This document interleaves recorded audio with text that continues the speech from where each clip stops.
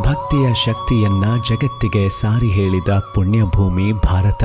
ಭಾರತ ವರ್ಷದ ದಕ್ಷಿಣದ ಕರುನಾಡಿನ ಒಡಲಲ್ಲಿ, ಮಲೆನಾಡಿನ ಮಡಿಲಲ್ಲಿ ಜಗನ್ಮಾತೆ, ತಾಯಿ ಅನ್ನಪೂರ್ಣೇಶ್ವರಿ ನೆಲೆಯಾದ ಪುಣ್ಯದ ಬೀಡು ಶ್ರೀ ಕ್ಷೇತ್ರ ಹೊರನಾಡು. ಏನು ಚೆಲುವಿನ ನೆಲೆಯೋ ಈ ಪಾವನ ನಾಡು.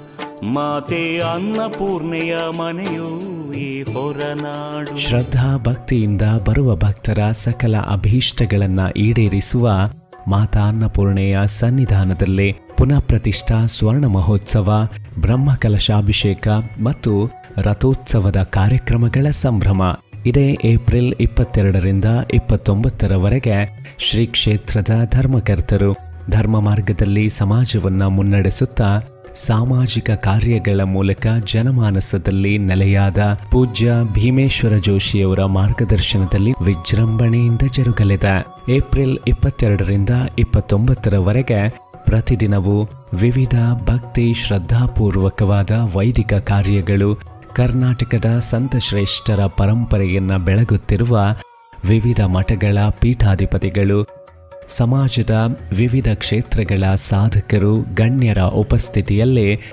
ಧಾರ್ಮಿಕ ಸಭಾ ಕಾರ್ಯಕ್ರಮ ಹಾಗೂ ಪ್ರತಿದಿನ ಸಂಜೆ ಏಳು ಗಂಟೆಯಿಂದ ರಾಷ್ಟ್ರ ಮಟ್ಟದ ಕಲಾವಿದರಿಂದ ಸಾಂಸ್ಕೃತಿಕ ಕಾರ್ಯಕ್ರಮಗಳು ನಡೆಯಲಿದೆ. ಈ ಎಲ್ಲ ಕಾರ್ಯಕ್ರಮಗಳಿಗೆ ಸಕಲ ಸದ್ಭಕ್ತರಿಗೆ ಆದರದ ಸ್ವಾಗತ. ಹೊರನಾಡಿನ ಪುರದೇವಿ, ಕರುನಾಡ ಸಿರಿದೇವಿ ಮಾತಾನ್ನಪೂರ್ಣೇಶ್ವರಿಯ ಸನ್ನಿಧಾನಕ್ಕೆ ಬನ್ನಿ. ಅನ್ನಪೂರ್ಣೆಯ ಅನುಗ್ರಹಕ್ಕೆ ಭಾಜನರಾಗಿ.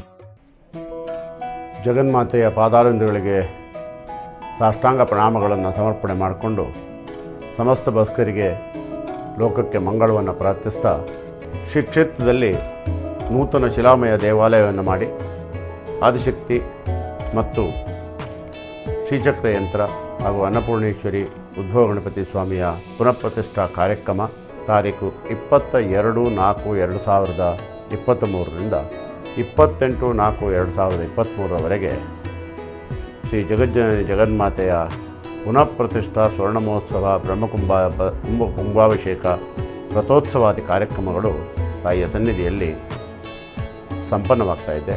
ತಾಯಿಯ ಮಾರ್ಗದರ್ಶನದಂತೆ, ಸಂಕಲ್ಪದಂತೆ ಎಲ್ಲ ಕಾರ್ಯಕ್ರಮಗಳನ್ನು ಆಯೋಜನೆ ಮಾಡಲಾಗಿದೆ.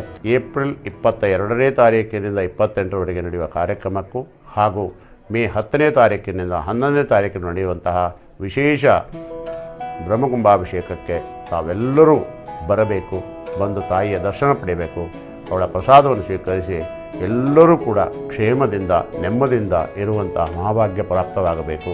ಇದರ ಜೊತೆಯಲ್ಲಿ ಈ ಎಲ್ಲ ಕಾರ್ಯಕ್ರಮಗಳನ್ನು ಸ್ವೀಕರಿಸಿಕೊಂಡಂಥ ಮಹಾತಾಯಿ ಲೋಕಕ್ಕೆ ಸರ್ವ ರೀತಿಯಾಗಿರ್ತಕ್ಕಂಥ ಮಂಗಳವನ್ನು ಅನುಗ್ರಹಿಸಿ ಕಾಪಾಡಬೇಕು ಅನ್ನುವಂಥ ಪ್ರಾರ್ಥನೆಯನ್ನು ಶ್ರೀ ಜಗನ್ಮಾತೆ ಚರಣದಲ್ಲಿ ಪ್ರಾರ್ಥನೆಯನ್ನು ಮಾಡ್ತಾ ನಮಗೆಲ್ಲರಿಗೂ ಶುಭಾಶೀರ್ವಾದವನ್ನು ತಿಳಿಸ್ತಾ ತಾವೆಲ್ಲ ಬನ್ನಿ, ತಾಯಿ ದರ್ಶನ ಪಡೆಯಿರಿ ಕೃತಾರ್ಥರಾಗಿ ಸಮೃದ್ಧರಾಗಿ, ನೆಮ್ಮದಿ, ಶಾಂತಿ, ಸೌಹಾರ್ದತೆಯಿಂದ ಬದುಕಿ ಬಾಳುವಂಥ ಭಾಗ್ಯಕ್ಕೆ ನಮಗೆಲ್ಲರಿಗೂ ಕೂಡ ಕಾರಣವಾಗುವಂಥ ಆಶೀರ್ವಾದ ತಾಯಿಯಿಂದ ನಿಮಗೆಲ್ಲರಿಗೂ ಪ್ರಾಪ್ತವಾಗಲಿ ಅಂತೇಳಿ ಮತ್ತೊಮ್ಮೆ ಮಗದೊಮ್ಮೆ ತಮಗೆಲ್ಲರಿಗೂ ಕ್ಷೇತ್ರ ಪರವಾಗಿ ಹೃದಯ ತುಂಬಿದ ಆಹ್ವಾನವನ್ನು Mart ayda ve Şuba